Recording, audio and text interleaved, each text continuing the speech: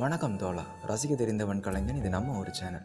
இன்றைய நிகழ்ச்சி நம்ம என்ன பார்க்க போகிறோம்னா சும்மா இருப்பதே சுகம் அப்படின்னு ஒரு வாழ்வியல் ஞானி சொல்லிட்டு போயிட்டாப்புல அவர் சொன்னது சரியா தப்பா அதில் உள்ள உண்மைகளை நம்ம கொஞ்சம் விவரித்து பார்க்க போகிறோம் வாங்க நிகழ்ச்சிக்குள்ளே போகலாம் சும்மா இருப்பதே சுகம் அப்படின்னு சொன்னோன்னே நிறைய பேர் சொல்லுவாங்க. டேய் நான்லாம் வீட்டில் சும்மா தான்டா இருக்கேன். இதெல்லாம் ஒரு மேட்ரு இதெல்லாம் ஒரு கண்டென்ட் எடுத்து பேச வந்துட்ட பார்த்தியா அப்படின்னு சொல்லுவாங்க. கொஞ்சம் கஷ்டமாக உழைக்கிறவங்க சொல்லுவாங்க. டேய் தம்பி உடல் உறுப்புகளை அசைக்காமல் ஒரே இடத்தில் சும்மா உட்காந்துருக்கிறதும் கொஞ்சம் கஷ்டம் தான்டா தம்பி. அப்படின்னு சொல்லுவாங்க.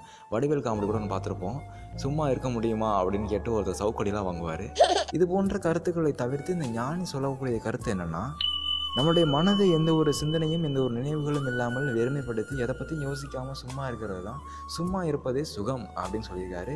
அந்த மாதிரி நம்மளோட மனசில் எந்த ஒரு சிந்தனைகளும் எந்த ஒரு நினைவுகளும் இல்லாமல் எதை பற்றியும் யோசிக்காமல் ஒரு பத்து நிமிஷம் குறைஞ்சபட்சம் ஒரு அஞ்சு நிமிஷம் இருக்க முடியுமா அப்படின்னாலே ஒரு கேள்விக்குறி தான். ஏன்னா இந்த காலகட்டத்தில் நமக்கு தான் ஆயிரத்தி எட்டு பிரச்சனை நம்ம கழுத்து சுற்றின பாம்பாக இருக்குது இன்றைக்கி பார்க்கும்போது மலையில் முளைச்ச காலா மாதிரி ஒரு பிரச்சனை இருக்கும். நாளைக்கே அப்படி பார்த்தா அண்ணாந்து பார்க்குற அளவுக்கு பெரிய மரமாயிரும்.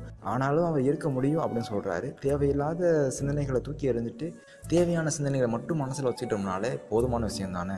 ஒரு இடத்துக்கு நடந்து போகிறோன்னா நம்மளுடைய காலுக்கு ரெஸ்ட்டு கொடுக்குறோம். கொஞ்சம் கடினமாக வேலை பார்த்தோம்னா படுத்து நிம்மதியாக தூங்கிடுறோம்.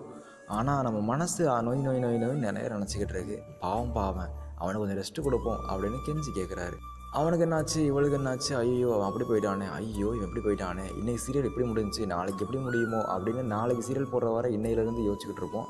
ஒரு நாளைக்கு ஒரு பத்து நிமிஷம் யோகா பண்ணுறோமோ அல்லது ஏதோ பத்து நிமிஷம் ஒரு ரெஸ்ட் கொடுத்தோம் அப்படின்னாலே மனது அமைதி அடைஞ்சிச்சுன்னா உடல் வலிமை பெறும் உடல் ஆரோக்கியம் அடையும் அப்படின்னு சொல்கிறாரு உடல் ஆரோக்கியம் மன அமைதியும் இருக்கும்போது அறிவு வளரும் அப்படின்னு சொல்கிறாரு நம்மளுடைய வாழ்க்கையில் தேவையில்லாத சிந்தனைகளை யோசனைகளை தூக்கி போட்டு கம்முன்னு இருந்தோம்னா வாழ்க்கை சும்மா ஜும்முன்னு இருக்கும் அப்படின்னு சொல்லி முடிச்சிருக்காரு. அதுதானே உண்மை. சும்மா இருப்பதே சுகம். மனதை ஒரு நாளாவது வெறுமைப்படுத்தி கொஞ்ச நேரமாவது வெறுமைப்படுத்தி அமைதியாக இருப்போம்.